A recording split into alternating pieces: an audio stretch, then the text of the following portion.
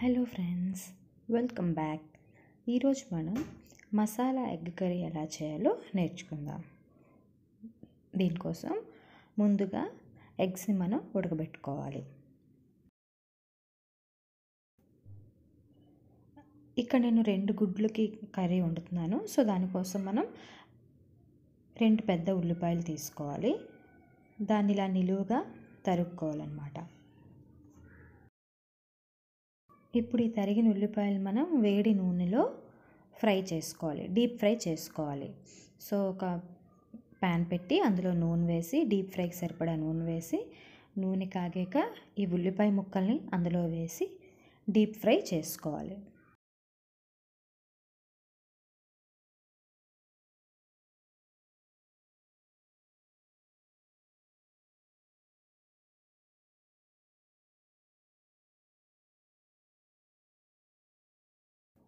మధ్య మధ్యన కలుపుతూ ఈ ఉల్లిపాయల్ని ఎర్రగా అయ్యేంత వరకు డీప్ ఫ్రై చేసుకోవాలి.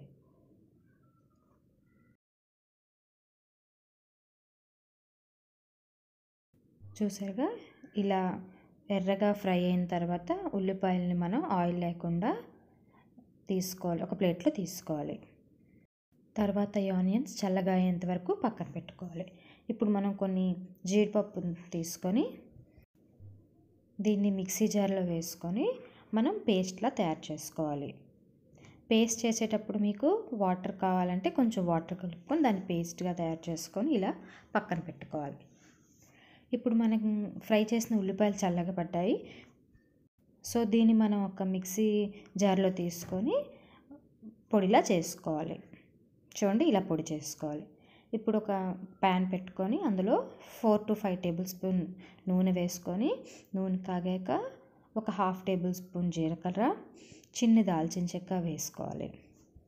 ఇక్కడ నేను దంచిన అల్లం వెల్లుల్లి వేసాను. మీకు కావాలంటే మీరు అల్లం వెల్లుల్లి పేస్ట్ కూడా వేసుకోవచ్చు. అది వేగిన తర్వాత ఇక్కడ నేను రెండు టమాటా ముక్కలు సన్నగా తరిగి ఇందులో వేసాను. దీన్ని మొత్తం బాగా కలిపి టమాటో ముక్కలు బాగా మగ్గాలి. సో దానికోసం మనం ఏం చేద్దామంటే మూత పెట్టి దీన్ని రెండు మూడు నిమిషాలు అలా ఉడికించి ఉడకనివ్వాలి.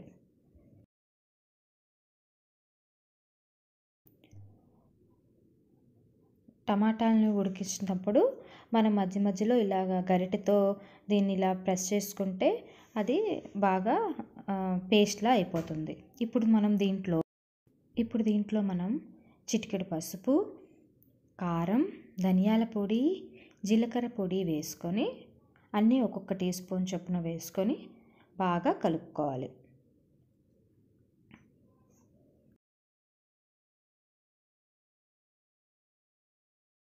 అన్నీ బాగా క కలిపి రెండు నిమిషాలు మగ్గాక మనం పక్కన పెట్టుకున్న జీడిపప్పు పేస్ట్ని ఇందులో కలుపుకోవాలి.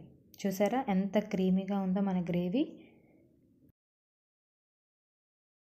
ఇప్పుడు ఇందులో కొంచెం వాటర్ కలుపుకొని మూత పెట్టి దీన్ని మనం రెండు మూడు నిమిషాల పాటు ఉడకనిద్దాం. రెండు నిమిషాల తర్వాత చూసారా మనకి ఆయిల్ పైకి తేలుతుంది. అంటే మన గ్రేవీ బాగా ఉడికినట్లు.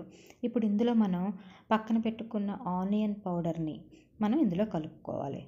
ఆనియన్ పౌడర్ని కలిపాక దీన్ని బాగా కలుపుకొని ఇందులో ప తగ్గట్టు ఉప్పు ఒక టీ స్పూన్ గరం మసాలా పొడి వేసుకొని బాగా కలుపుకొని మూత పెట్టి రెండు నిమిషాలు బాగా కుక్ అవ్వనివ్వాలి. ఈలోగా మనం ఉడకబెట్టుకున్న గుడ్లని ఇలాగా వెర్టికల్గా కట్ చేసుకోవాలి.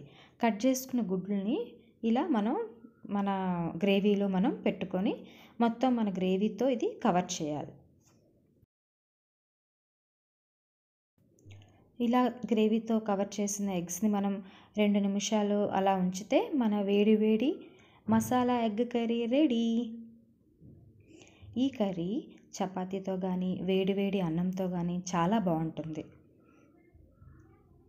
గార్నిష్ కోసం మీరు కొత్తిమీర యూస్ చేయొచ్చు. సో దీన్ని మీకు ఈ వీడియో మీకు అందరికీ నచ్చి ఉంటుంది అనుకుంటున్నాను ఒకసారి ట్రై చేయండి. బాయ్!